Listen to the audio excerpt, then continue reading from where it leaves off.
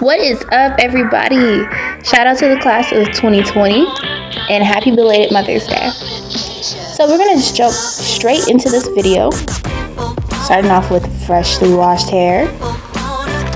And I'm gonna be working in sections, so I'm gonna grab my wide tooth comb and part right down the middle.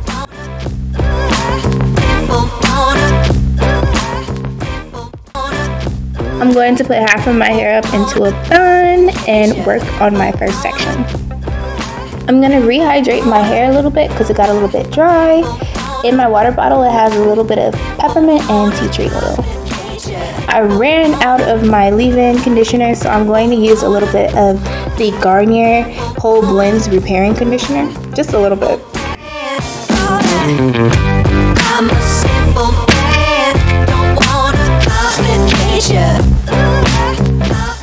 I'm going to seal this in with my oil, which has grapeseed, Jamaican black castor oil, and olive oil in it.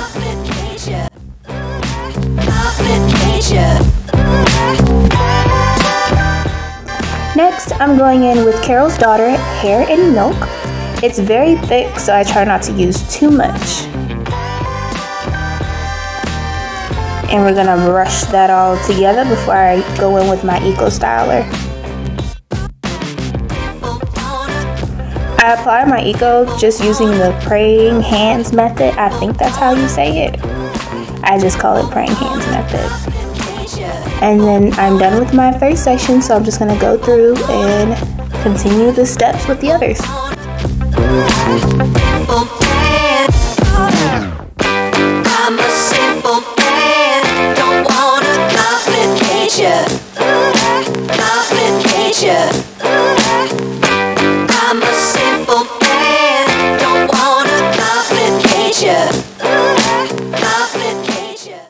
When I'm done, I like to go back through with gel just to make sure that any part of my hair is frizzy gets slapped down.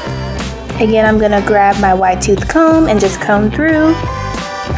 I sometimes like to flip my hair over and scrunch it up a bit. Okay, here comes the crazy part. I always look crazy doing this. I didn't realize until recording how awkward I look flipping my hair all around. And that completes my quick wash and go. Thanks for watching. See you next time.